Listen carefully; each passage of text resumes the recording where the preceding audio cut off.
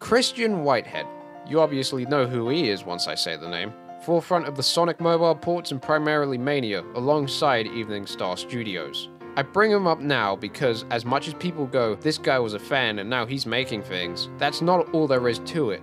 Mr. Whitehead had only got some real traction, no less his own footing in the games industry, via some of the fan games he'd made with his own unique engine that he'd programmed and put together himself in the past. The Retro Engine, which as most know, aims to deliver the most closest physics and playstyle when it comes to that of the Mega Drive Genesis area, especially Sonic.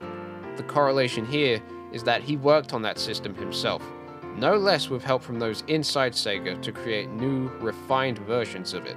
It's not a fan game, or a fan hack by any means.